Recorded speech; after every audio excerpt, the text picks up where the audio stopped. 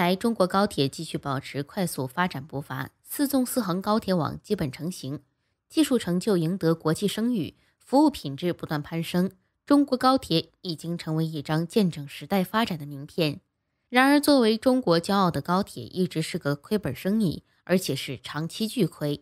二零二一年一月，中国国家铁路集团有限公司发布了二零二零年财务报告，年收入一点零七万亿元。同比下降百分之八点一，净亏损五百五十五亿元，而上年同期为盈利二十五点二四亿元。出现如此断崖式滑坡的原因也很明显，受大危机影响，国家铁路二零二零年发送旅客仅有二十一点七亿人，同比减少十四点一亿人。其中，在客流最低谷时，单日旅客发送量不到一百万人次，仅为正常水平的百分之十。事实上，截止二零二零年年中，国铁集团亏损一度高达九百五十五亿元，相当于每天亏损五亿元人民币。而在下半年，随着客流逐渐恢复，亏损幅度明显收窄。最为典型的当属超级印钞机京沪高铁，这是国铁集团下属的一条高铁线路，三十七名员工的公司，二零一九年的净利润达到一百一十九亿元，但是。如此彪悍的京沪高铁，也只是收入超过运营成本，离收回投资成本相去甚远。而且受大危机冲击，京沪高铁也有点扛不起。不要以为高铁巨亏都是大危机的锅，事实上，中国高铁长期亏损。有人统计，目前中国高铁已经亏掉超四万亿元。这是什么概念？中国最有钱的城市上海，二零二零年的 GDP 总量为三点八七万亿元。换句话说，最富有的上海一年赚的钱都不够高铁填坑。北京交通大学城镇化研究中心主任赵坚指出，中国十四亿人也养不起高铁，高铁票务收入还不够利息，因此对中国高铁质疑的声音从第一天起就没有停止过。铁道部上海铁路局原总工程师华允章当时就站出来反对，为什么不采用节约高效的扩能方案？而是坚持使用成本更高的高铁方案呢？北京交通大学中国城镇化研究中心主任赵坚连发三篇文章，认为继续进行的大规模高铁建设将给中铁总和地方政府造成更加巨大的债务负担，进而成为撞击中国经济的灰犀牛。国际媒体更是接连发文称，中国高铁就是在浪费钱，一边是巨额亏损，一边却不断开建。矛盾显而易见。问题是，国家为什么敢于大力投入？一九九七年以前，我国列车平均时速仅为四十三公里，从北京去趟深圳需要好几天时间。一九七八年十月，正酝酿着改革开放大计的邓小平访问日本，时速二百二十公里的日本新干线给他留下了深刻的印象。面对记者，他说了一句意味深长的话：“我就感觉快。我们现在。”正合适坐这样的车。改革开放期间的深圳被誉为“蛇口之父”的招商银行创始人袁庚提出了“时间就是金钱，效率就是生命”的口号。不论是运人还是运货，四十三公里每小时的速度显得太迟钝了。高铁是一定要建的。中国交通运输协会原副会长雷霆的想法代表了当时大多数铁路人：修高铁才更有成就感。因此，不论是最高设计师还是最底层执行者，大家都同意建高铁。然而，从下定决心发展高铁到真正开始修建第一条高铁线路，一下子就拖了近三十年。最大的分歧点就是在现有的京沪铁路上进行电子化升级，还是重新修建专属于京沪高铁的线路。甚至还有专家提出第三个观点：直接上线磁悬浮列车，取代轮轨式高铁。最终主张修建专属线路的建设派，在立项阶段淘汰了主张升级的反建派；轮轨派在实践阶段又淘汰了磁悬浮派，开始全力发展时速二百到三百公里的高铁，从四十三公里到二百公里，速度上提升五倍。然而，为了达成这一目标，背后却是巨额的成本投入。一九九四年香山首届中国高速铁路技术发展战略讨论会上。铁道部总工程师沈之介提交了京沪高铁方案，预算五百二十三亿元。在随后的方案报批中，铁道部将总投资上调至一千三百亿元。十三年后，预算最终被敲定为两千两百零九点四亿元，成为当时中国历史上第二大投资项目，仅次于三峡工程。二零零八年四月，京沪铁路正式开工。十一月，铁道部发布修订版中长期铁路网规划，计划在二零二零年建成一张四纵四横的高铁网。没想到，这个目标提前四年就完成了。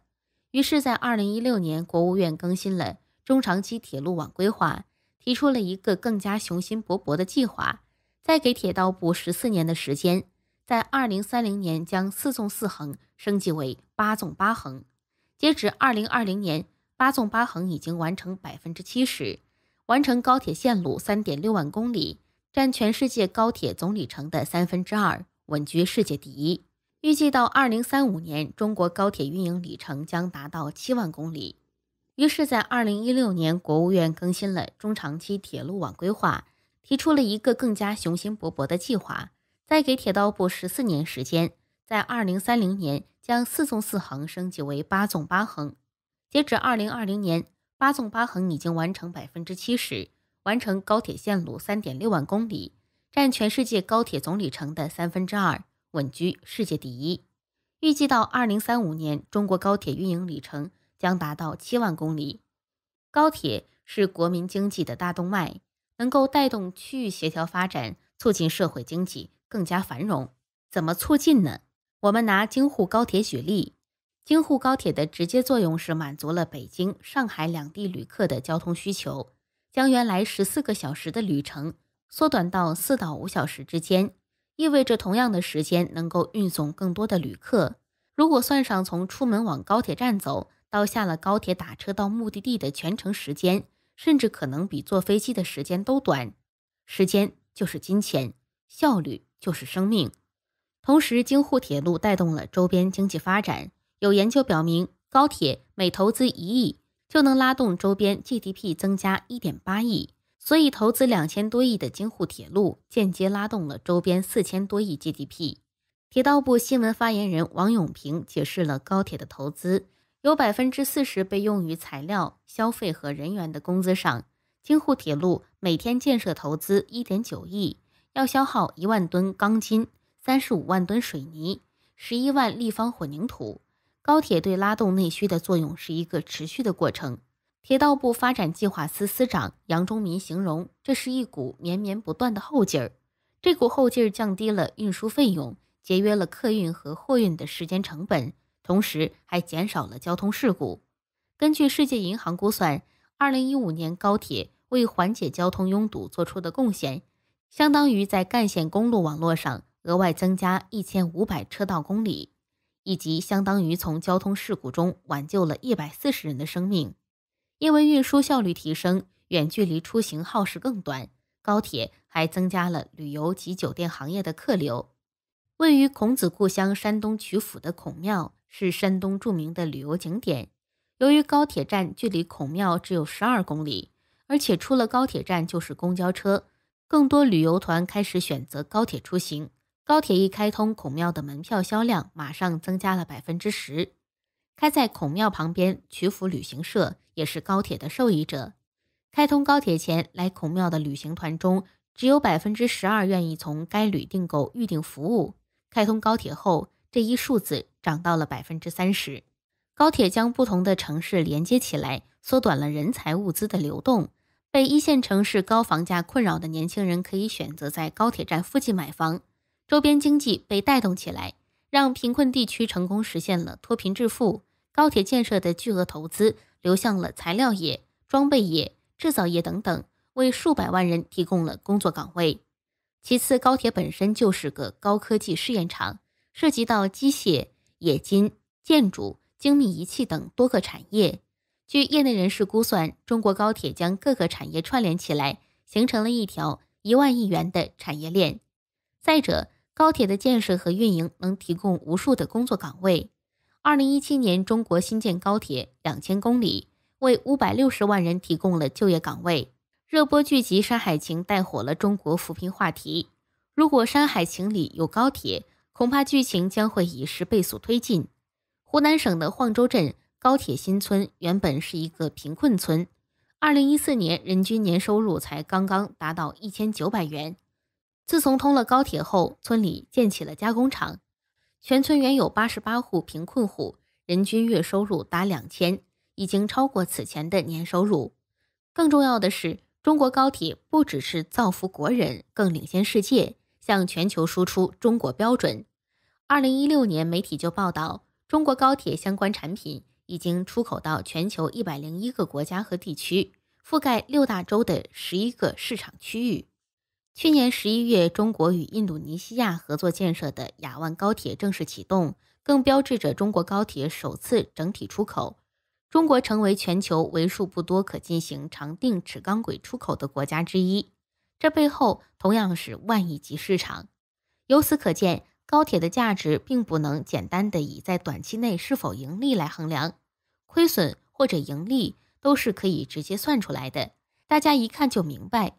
但如果要计算高铁在多大程度上对整个国民经济起到了促进作用，就很难用数字或者公式来表达出来，这就很容易让人忽略高铁背后隐性的战略价值。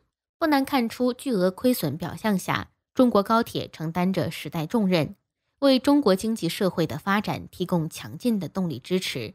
如今势能已起，好戏仍在后头。今天的节目就到这里。喜欢的朋友别忘记点赞、分享、订阅，你们动动手指对我可是意义重大。就这样，我们下期见。